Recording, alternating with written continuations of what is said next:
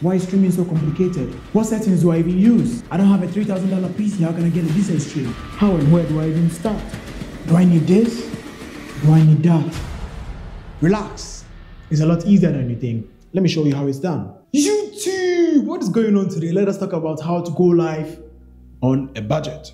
If you're watching this video, chances are that you're new to streaming or streaming has crossed your mind lately and you're wondering how you can set up a decent stream in the fastest way possible at a very low cost. I got you, bro. To set up a basic stream, you need three things. A decent laptop or PC with a good internet connectivity, a streaming platform, and a broadcasting software, or as some people may call it, a streaming software. In this video, I assume you already have a low-end PC which you want to stream from, so I'll just move on to discuss the next most important thing, which is the streaming platform. One of the most important decisions you're actually going to have to make is to decide on one platform to broadcast your content from from the numerous platforms that we have today. The top platforms include Twitch, YouTube Live, Facebook Gaming, Trovo, and Kick. The question is how do you know which is right for you? Let me try to help you with that. I'm not going to go into so much details, I'll just reserve that for another video, but here are four main points I'll consider as a new streamer when selecting a streaming platform. Type of content or community, discoverability, requirement to get monetized, and revenue or how much money I'll actually make if I decide to stream on this platform. Alright, so let us do a side-by-side -side comparison with the main platforms and at the end you are going to decide for yourself which streaming platform you actually want to use. So depending on what you want to stream, some of these platforms might or might not be suitable for you.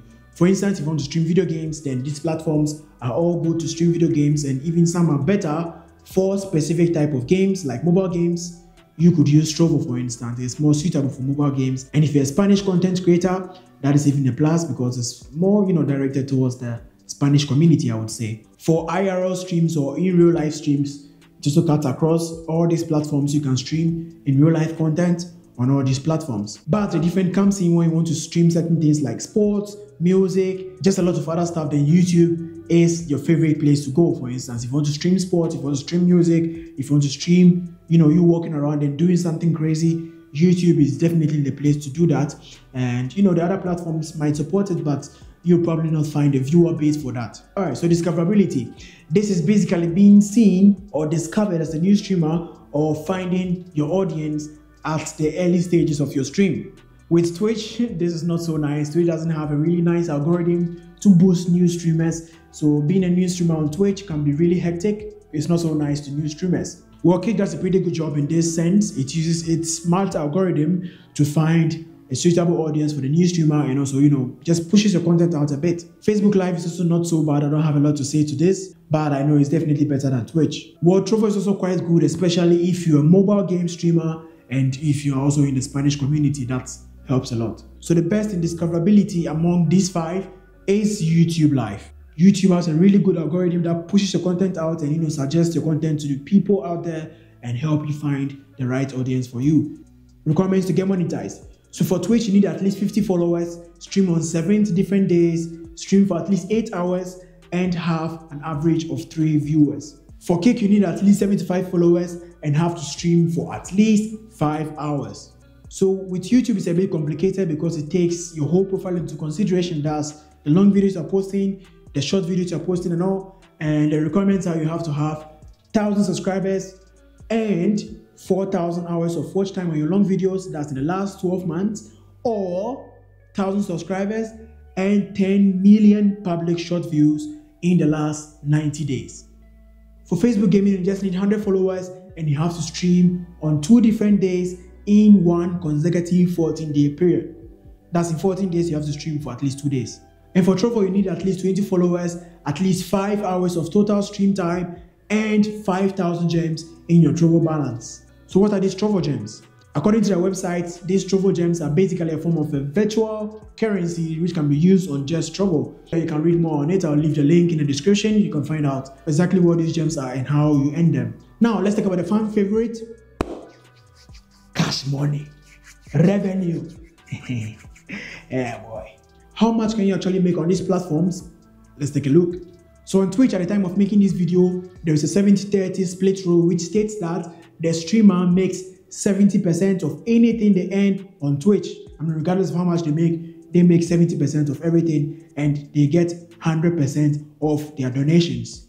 On YouTube, it is a bit complicated as usual. You get 55% of the partner program ad revenue. You also get some money from super stickers and super chat. And you get 70% of the memberships, the super thanks, and you know, all these kind of additional YouTube features. I'll leave some links in the description. You can read more on that. In Facebook gaming, you get some amount on subscriptions. It's not exactly clear how much you get. You also get about $0.01 per star. These stars are basically some form of coins that the viewers, you know, give to you when they like your stream or, you know, they, they fancy you, maybe just give to you maybe 20 stars or 50 stars and you multiply this 50 by the 0.01, that's how much you get and everything goes to you. You also get some amount of money from in-stream ads, which is about 8 to $10 per thousand views depending on your geographical location and other factors. And the winner for this category is of course Kick, which gives you about 95% of what you earn on that platform. Alright, so that's an overview of the top streaming platforms and of course I'm going to leave links in the description for you to read more on this topic so you can be able to select the streaming platform that best suits you. And before you ask, yes, it is possible to stream on multiple platforms at the same time, but I will highly not recommend that as a new streamer because it's just too much work and I'll just suggest you focus on one platform at a time, try to grow it a bit, grow your community, understand the game, and then you can be able to extend to other platforms and possibly stream on multiple platforms at the same time. Next on the list is the broadcasting software. For this, we are going to narrow down the list and I would recommend using either OBS Studio or OBS Streamlabs. Why am I saying this? These two softwares have a really wide user base and a great community. This means you'll find help with almost everything you need and you also get some tips to help you stream properly compared to other streaming softwares. I myself have several configuration videos on OBS giving you certain tips and tricks to use OBS Streamlabs and give you, you know, really decent stream. So you can check them out. Anyway, for this tutorial, we're going to stick to OBS Streamlabs because I think it's user friendly and a really good broadcasting software for beginners. Let's hop into my PC and set things up. So you're going to go into your browser and type streamlabs.com. This should bring you to the official download page of Streamlabs OBS. Go ahead and download it and go through the installation process. It should be quick and painless. Once you successfully installed Streamlabs OBS, boot it up, you should be greeted with this welcome screen. Select live streaming, click on beginner, click continue. Then here you can either create a Streamlabs account or click on the login to view the other login options that you have. I'm just gonna skip it for now. Click on start fresh. I'll skip the webcam settings too. Here you have some free overlays you can use for your stream, but I'm just gonna skip it for now. Click on the starter pack then get started. So we have an empty OBS now and the first thing we're going to have to do is to add a new scene. So click on this plus thingy here to add a new scene. Let's name it live. Click on down to add a new scene. I'm just to delete this real quick. Now we have live scene. Let us add some sources to the scene. So click on this plus thingy here, the sources. You see over here the different type of sources that we have. But we are going to select display capture for now. Click on add source. Click on add source again. Then click on done to add a display capture. The display capture basically shows everything on the selected monitor screen. If you have more than one monitor, you can select this particular monitor in the settings. So the display capture is for general purpose use if you want to show something on your screen, if you are streaming certain games. But if you stream specific type of games like mobile games, you should watch this video right here where I show you exactly how you can set up a mobile stream in OBS Streamlabs. If you're a PC gamer just like me, this video will definitely help you out. Check it out. So the next thing we're to do is to add a microphone if you have one available. Go to the settings over here close to the microphone, select properties. Over here you don't really need to change anything, all you have to do is to select the microphone that you have, so go to the devices. In my case it is the HyperX Quadcast, so I'm just to select it and go on top here and click on the X icon to close this window. The next step, which is optional, is to add a webcam or a camera. If you don't plan on showing your face, that's totally fine, you can skip this step. For those that want to, let's go ahead and set it up. So in the sources, click on this plus thingy over here again. This time we are going to select video capture device. Click on add source, click on add source again, and select the camera that you have. I have the Logitech C920, I'm going to select it and then go ahead and click on close. You don't really need to change anything over here your camera quality is good, but if you have a crappy camera just like I do, you can go ahead and watch this video over here where I show you how to tweak your cheap webcam and make it look a lot more professional. This time you are ready to go live and you can do it in two ways, either by clicking on this login icon over here which shows you the options that you have to log in or go into the settings, select stream and locate the stream key box over here. Here you need to enter a stream key which you can find in the settings of your streaming platform account. I'm going to use Twitch as an example. In Twitch, you're going to go into the creator dashboard, locate the settings, go to stream.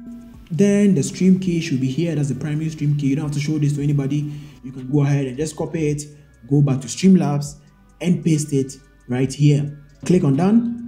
And all you have to do now is to click on go live and you will be live and probably later you can also customize your stream add some nice overlays add some you know really nice transitions and alerts just to improve the quality of your stream alright guys so that is how to go live in the fastest way possible at a really low cost if this video was helpful to you don't forget to leave a like on it and subscribe to this channel for more videos like this as always i am always open to knowing your thoughts and suggestions in the comments below I wish you the best of luck for your streaming journey and you should absolutely watch this video where I go over the mistakes that I did as a streamer and what I would do different if I started streaming again. See you soon. Peace.